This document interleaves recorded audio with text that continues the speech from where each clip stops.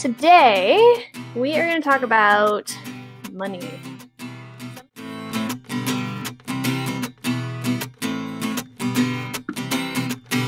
And we are supposed to be live. Okay. Yay. Anybody who's watching right now, uh, be patient because this is a new program for me. Hey, I see us on Facebook. Beautiful. Awesome. Good morning, everybody. Today, I'm so excited. I'm joined by Lene Kimura. She's a life coach and she teaches emotional freedom. So good. So good. Okay, but today we are going to talk about money. Something that I find that not a lot of people like talking about. Well, some people do, and that's all they talk about, or it's not something they talk about at all. So, we're going to dive into this a little bit. Hold on, let me let me get some coffee in me for a second and load up my questions here. So check this out. yeah. Okay. This is cool. I haven't seen this tool before.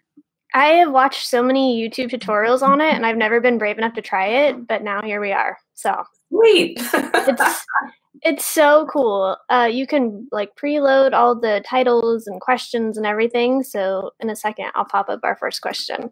Oh my gosh, you're kidding. That's so cool. it's gonna be so great. Okay. Thanks for having me, by the way, Rayne. I'm really excited to be here and I'm excited to talk about money. Yeah. It's been too long, my friend. Too long. Yeah. I agree. or or the perfect amount of time. Who knows? That's true. That is true. It just feels like too long. I'm impatient with the universe sometimes. I feel that.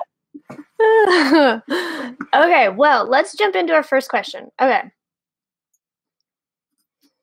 Why do you think it's hard for people to talk about money? I love that question. And I have asked myself that question many times.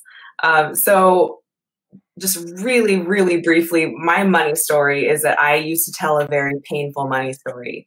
I used to make, you know, what most people would consider a pretty good salary, and I still felt broke all the time. And I thought the answer was to just get rid of money and take it out of my life and to not think about it. And why do we need money anyway? I just want to help people. And so then, you know, I spent a number of years doing that, helping a lot of people, not getting paid. Um, and then I decided that I wanted to start a business. And a key ingredient of business is money. If you don't have cash flow, you do not have a business, really.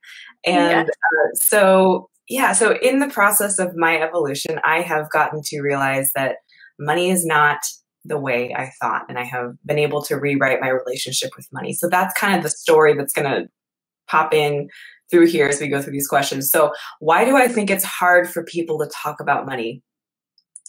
Um, I love that question, and I would I would ask first is how do you feel when you're talking about money? How do you feel when you're thinking about money? That mm-hmm. is the reason why it's hard, is because yeah. of how we feel, and the reason that you feel the way you feel is because of how you're thinking. So mm-hmm. if you are thinking painful thoughts about money and you feel very, very uncomfortable, you're not going to want to talk about it. It's going to be really hard to, to talk about. So how like why do we think the way we do? Well we kind of come into human life not knowing jack shit about money and we are we're taught from a lot of different sources starting from a young age how to think about money and how to talk about money and what's appropriate and what you should do with money. And this is kind of an unavoidable part of human life i think because everything that we do everything we interact with involves money to some point. That is that is just something that is that like that's a fact. That's just the way life is right now. And we don't have like you and I individually don't have control over that. That happened long before we were born. It'll continue long after. So mm-hmm. that's that's like the circumstance that we enter into kind of as humans in this time in our life. So I don't know about you but I learned a lot of things about money when I was young. And yes. I, I was just going to bring that up. I was like, I love how you bring that part up because, like, I had teen parents. So oh, yeah. we had, like, very, very little growing up or when I was growing up. So, yes. Mm-hmm. Yeah. Definitely. Sorry, I didn't mean to cut you off. no, no, that's great. Yeah, yes, exactly. So we probably, when I say that, anyone who's listening is going to think of something that they learned about money when they were young. Mm-hmm. And the reason that that's a problem, well, Hmm. okay, so the reason I think it becomes a problem is because we realize that something is not jiving with us. It's like something about the way that we're thinking is not working for us, but we don't realize that we feel the way we feel because of how we're thinking. So, Mm. most of us, what we learn from an early age, in addition to money, just in general, is we learn this lesson that external things outside of us cause how we feel. Other people can hurt my feelings. Other people can disappoint me. I can disappoint my parents. I can Mm. cause somebody to be angry. I can I can cause someone to reject me. So Mm. when we when we put the the cause of our feelings on something outside of us, when we are believing that, we become totally powerless of Mm. how we feel. So that that really is the core of what I teach in emotional freedom. It's that thoughts cause our feelings. We can think on purpose. We can choose how we think. Therefore, we can choose how we feel. So is is untangling those thoughts with money just like anything else, or is there something a little bit different about it? You know, that's a really good question. Um, so I think maybe these are just my current thoughts of today, right? And they're constantly evolving. But Sure. right now, where my head's at is I used to think that money was very much different than other things. And now I'm seeing it more as kind of kind of like continuous with the fabric of the universe, continuous with everything else. Mhm. Um, and I think I have some thoughts stored for a future question. Mm, yes, Should I talk probably. Sorry, I'm going off script. Terrible. okay, so let's. I think this will be right where we need to Oh, be. perfect. Yes. Okay. This Um, thing so is so cool. Sorry. yeah, it's perfect. So currently, I view money just like any other flow of energy. It's almost like the faucet is running and I put my hand underneath the water, or Mhm. I'm breathing in and I'm breathing out. So one of the one of the analogies that that I think of is if I only breathe in and I never breathe out, I'm going to be out of balance. If I only breathe Mm. out and never allow myself to breathe back in, then I'm going to be out of balance. And Yes. so money is kind of like that. We are never just in stasis with money. It's always flowing. It's flowing in and it's flowing out. And we can we can like block or allow money to come in. We can block or allow it to flow out.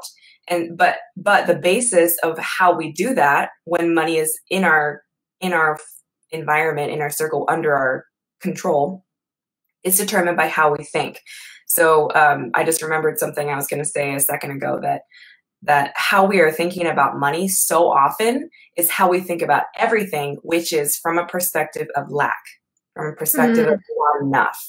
So Mhm. if we're viewing money as not enough money, guaranteed you're viewing other things as there's not enough. And that's that's the feeling that we're generating when we're thinking that. So I, Mm. I view money like a flow of energy. Um, a couple of years ago, I learned to I, I learned Reiki and I learned uh, a few new methodologies in hands-on energy work, and Mhm. that was really interesting for me because it was a very it's a very specific sensation for me. Mm.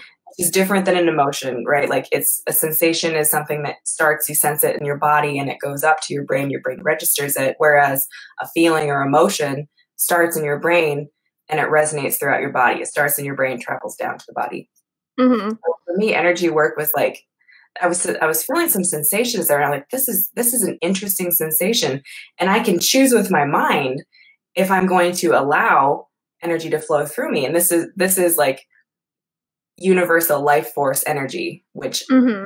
I, I view as continuous with everything, with you, with me, with money. Like it flows through everything, right? Mhm. And so I was sitting there thinking, this is really interesting. How can I be so comfortable allowing universal life force energy to flow through my body and out my hands or you know just to to flow through me however it does and and be so deeply uncomfortable with money and the difference is how i was thinking about it Oh, yes.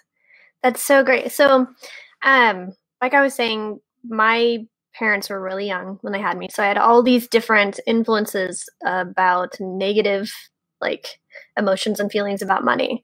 And for a long time I didn't realize that those were like I thought that that was just how I always viewed money. Like that's because that's just how it always was, you know. And it wasn't until I really started to open myself up to other things, there's like you're talking about with this Reiki practice. Like there's there's these things that you encounter. You're like, oh my gosh, why can I feel this way? And like a huge contrast over here with something that's part of the same thing. And I love I love that inhale exhale um, example because money is always flowing in, out, up, down, and that stresses people out. Like they're like, no, I don't want to see it go away. I want it all in, or you know what I mean? Yeah, yeah. And just notice though, the, like the reason that you feel stressed when you're thinking about money is like, I don't want it to go. Mm-hmm. And yeah. when you when you pull that thread just one layer deeper, it's going to be well because I'm I'm afraid that no more is going to come in. I'm afraid that there's not enough. Mm-hmm. Oh, mindset of lack. No bueno. No bueno. It doesn't feel good. No. Yeah, and so I guess I'm viewing money as as an inherently neutral thing, not neither positive nor negative, but my mm. experience is how I measure it. So our emotions are our guidance, and when we feel negative, that lets us know that something in the way we're thinking is out of alignment with who we really are, or it's in, in opposition to what we really desire. Have you noticed that that's hard to talk to people openly about? That money isn't always negative or the root of all evil? Mm. Because I feel that a lot. Like, I will test, you know, certain conversations with certain people and see their response not just because like i'm constantly testing people it's just like i'm curious to know like where everybody is at right mm-hmm. and i there's some seriously strong responses that are just like, no, it is like the source of all that is bad and corrupt. And I'm like, nah, but it doesn't like it's just like anything else to me personally. Yeah. Yeah. My main thought on that is that uh, I, I too find that really fascinating.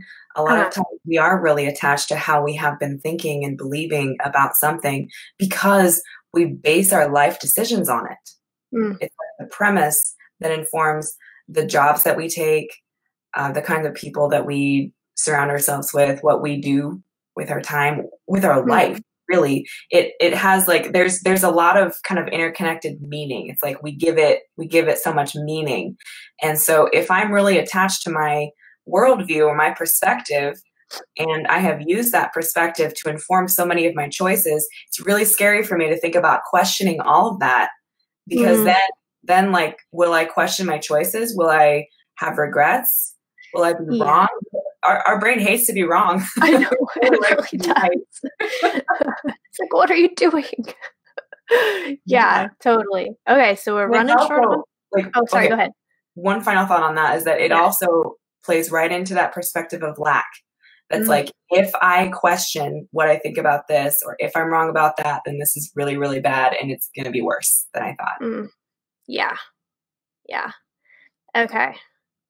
So, what are some ways that we can kind of break that cycle of lack in our thinking or uh, break bad habits that we have around our thinking with money? Yeah. Yeah. So, when I think of our habits around our thinking, um, I, I don't really view habits as good or bad, but, mm. but like, I think what you mean by bad habits is like bad feeling Yes. Like, how can I stop making myself feel bad about money? Yes. So the first thing you can do is ask, what am I thinking? That's the very, very first step is to find out. So much of our thinking just kind of like fades into the background and becomes mm-hmm. goes on auto. And so we're just thinking by default. A lot yes. of this stuff goes back to childhood. We're just like, oh, I've been thinking that since I was 8 Mm-hmm. Oh yeah it doesn't have to mean anything if you find a thought that's kind of nonsensical. We've got a whole bunch of them rattling around in there, right? So the first the first step is what am I thinking? One of I, uh, I've done this a number of times. I just write "money is" on a piece of paper and just finish that sentence a whole bunch of different ways. Ooh, I like that. Yeah, another way that you can uh, shift your thinking on money is is ask yourself, and I've done the, a round of this recently. Is um, what are some memories that I have that around money that have an emotional charge? and how can I clear those? And I've done forgiveness work on of those emotionally charged memories of money because what's happening when you have something in the past that is still affecting you today is you're that situation is over it's done but what mm. i'm doing in this moment is bringing that thought into my awareness today which is causing the feeling i'm experiencing today mm. i don't know about you but i don't want to be carrying a whole bunch of my past thoughts into this present. I don't want to be bringing or activating that vibration of those thoughts today. So the mm-hmm. first step is, is to uh, to be aware. So just to set your intention to become aware of what you're thinking about money. Mm. And uh, I actually this goes right into first step towards better alignment. Is that next? Oh, good morning, Tabaski. Which question? The oh, the, the first step towards better alignment. Yeah, that's our next one. Okay. So let's just kind of flow right into we'll that. We'll go one. back and forth. Yeah. Okay. So after you know what you are thinking, the next thing you can do is think of other ways to think about it. When you ask your brain a question, your brain will respond with a bunch of answers. So mm. just start asking your brain different questions and you'll get different thoughts. What are some other ways that I could think about this? Is it possible mm. there's another way to look at this? What mm. if it's gone wrong? What if, what if I'm exactly where I need to be? And so then what you do from there, so that so you ask yourself, what am I thinking? Ask mm-hmm. what are mm-hmm. possible ways to think about it. Three, reach for a better feeling thought. So your emotions are always, always, always going to be guiding your mind in the right direction.